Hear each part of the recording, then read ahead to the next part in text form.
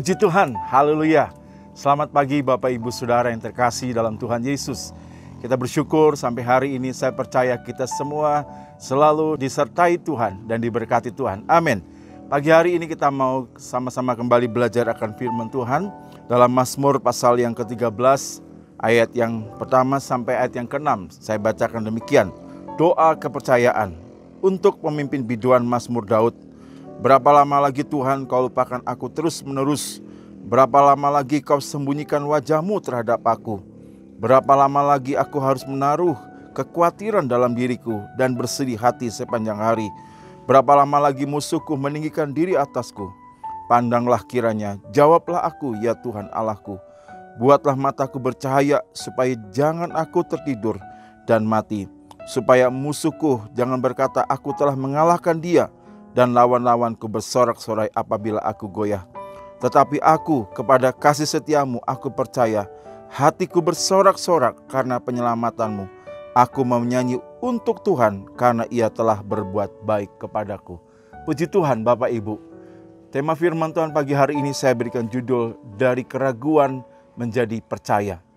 Dalam Mazmur 13 ayat yang pertama sampai yang keenam yang kita sudah baca ini, kita melihat bagaimana di ayat ini Daud sedang mengalami yang namanya kesusahan. Dia kesusahan bukan karena sakit, bukan karena kekurangan hal yang lain, tetapi bagaimana dia menghadapi musuh-musuh yang sedang dihadapi. Kita tahu bagaimana Daud dikejar oleh Saul untuk membunuhnya. Belum lagi dia harus menghadapi orang-orang Amalek, ya, dia harus berperang melawan orang-orang Amalek. Dan ternyata inilah menjadi kesusahan bagi Daud pada waktu itu.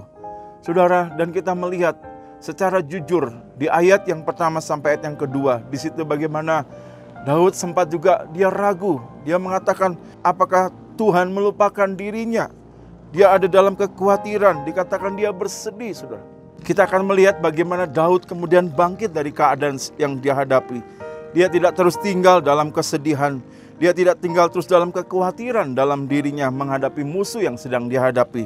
Yang Daud lakukan adalah kemudian di ayat yang kelima bagaimana tetapi aku kepada kasih setiamu, aku percaya, sudah. Daud dari keraguan dia mulai percaya. Karena apa? Karena dia melihat ada kasih setia Tuhan yang dia alami dalam hidupnya. Dan dia imani itu dalam kehidupannya. Bah kasih setia Tuhan itu ya dan amin. Kasih setia Tuhan tidak pernah berakhir. Jadi Bapak Ibu Saudara, kalau kita melihat kasih setia Tuhan dalam hidup kita, biarlah kita juga mau setia dalam kehidupan kita. Seringkali kesetiaan kita baru teruji ketika apa? Ketika kita menghadapi tantangan. Kesetiaan kita terwujud ketika apa? Ketika kita harus menghadapi hal yang susah dalam kehidupan kita.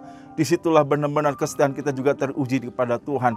Dan kita juga melihat bagaimana kesetiaan Tuhan juga itu nyata dalam kehidupan kita. Daud mengatakan, ya dalam lembah kelam dia tidak takut karena apa? Karena dia percaya ada Allah yang menyertai kehidupannya. Dia boleh percaya dalam lembah kelam ada kasih setia Tuhan. Begitupun juga dalam kehidupan kita. Saudara yang kasih dalam Tuhan. Yang kedua adalah bagaimana dikatakan di situ. Dia bersorak-sorak karena apa? Penyelamatan daripada Tuhan. Kita harus yakin di tengah kesusahan yang kita hadapi bahwa Tuhan tetap sanggup menyelamatkan. Ya saya katakan tangan Tuhan tidak kurang panjang untuk menolong, untuk menyelamatkan kita. Tetapi mari pagi hari ini, apakah dalam kesusahan yang kita hadapi, biarlah tetap hati kita bersorak-sorak karena Tuhan. Karena Allah yang menjadi penyelamat dalam kehidupan kita. Dia sanggup menyelamatkan setiap keadaan Bapak Ibu Saudara. Dan kemudian lihat yang keenam bagaimana selain dia bersorak-sorak, dikatakan dia mau menyanyi untuk Tuhan. Karena apa? Karena ia Allah telah berbuat baik dalam kehidupannya, Saudara kita lihat dalam kesusahan tidak mungkin orang bisa memuji Tuhan. Dalam kesusahan tidak mungkin orang bisa menyanyi untuk Tuhan, bisa bersorak-sorai. Tetapi karena dia percaya akan Allah yang menyelamatkan kehidupannya. Karena dia percaya akan kebaikan Tuhan, Bapak Ibu. Mari dalam kesusahan, biarlah kita ingat apa yang Tuhan sudah buat dalam kehidupan kita. Kita ingat lagi apa yang menjadi kebaikan Tuhan dalam kehidupan kita. Supaya apa? Supaya kita percaya kalau kita dalam kesusahan hari ini, kalau kita boleh ada sampai hari ini, tetaplah percaya akan kebaikan Tuhan. Dan Daud katakan kalau dia bisa bernyanyi bukan karena dia kuat, bukan karena dia mampu menghadapi semua itu. Karena apa? Karena dia percaya akan kebaikan Tuhan.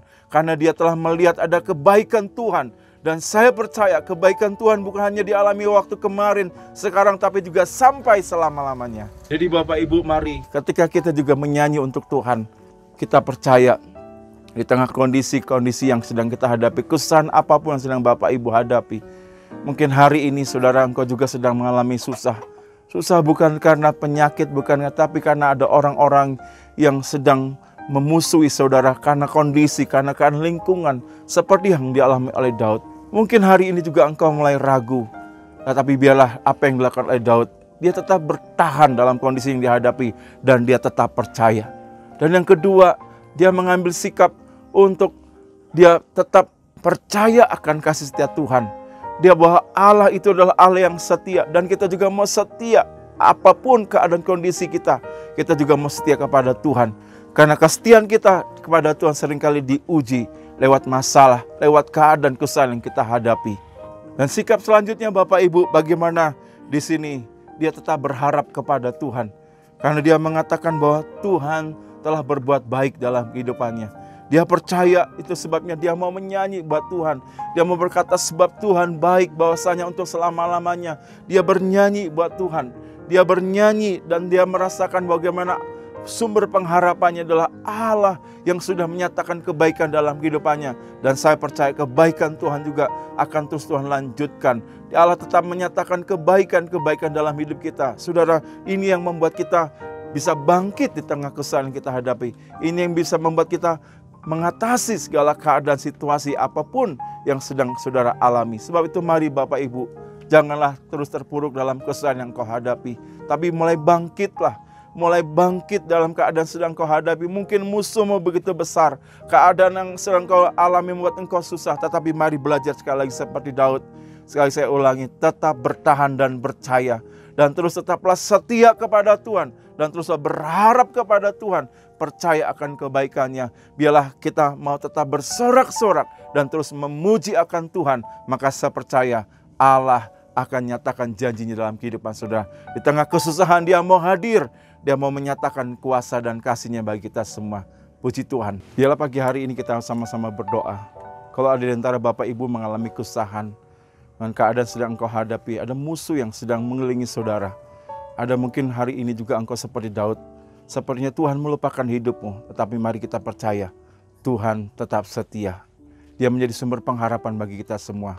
Mari kita berdoa, Tuhan kami bersyukur Keadaan apa pun yang sedang kami hadapi, kesan apa pun, kau tetap Allah yang setia.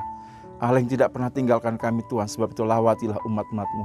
Dengan kesusahan apa pun yang mereka hadapi Tuhan, jangan biarkan mereka dalam keraguan, tapi mereka tetap mau percaya kepada Engkau. Tuhan, mari kiranya lawatilah umat-umatmu.